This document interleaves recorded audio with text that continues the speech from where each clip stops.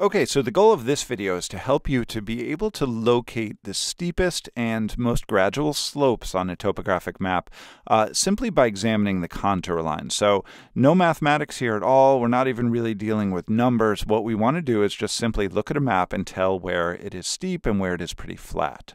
So here's a map that we can work with. Now, just a quick review, all of these squiggly lines, these are contour lines, and they're showing different elevations. So each line connects points of elevation above sea level.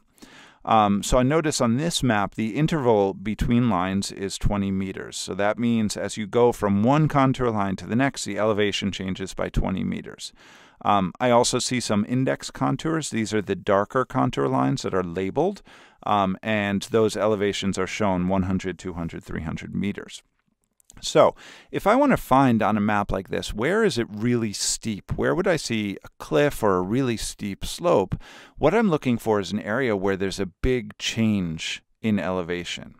And if I want to see a big change in elevation, I'm looking for where there are a lot of contour lines that are close together.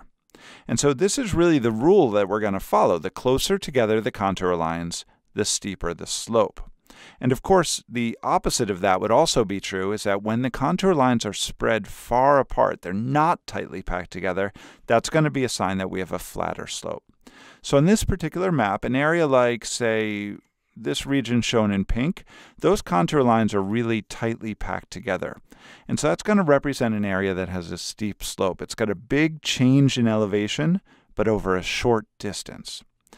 Again, if we're looking for a flatter slope, maybe over here in blue, you'll notice the lines are loosely packed. They're, they're spread out, and so that's going to be a sign that we have a fairly flat area. So let's take a look at one more example of another topographic map here. Um, so again, if I want to find the steepest slope, I'm looking for where my contour lines are tightly packed or very close together. So like this region over here is probably going to be the steepest part or one of the steepest parts of this area. Whereas a flatter area might be this spot shown in blue. This is where the lines are a little bit more spread out. So just to sum up, the closer together the contour lines, the steeper the slope is going to be.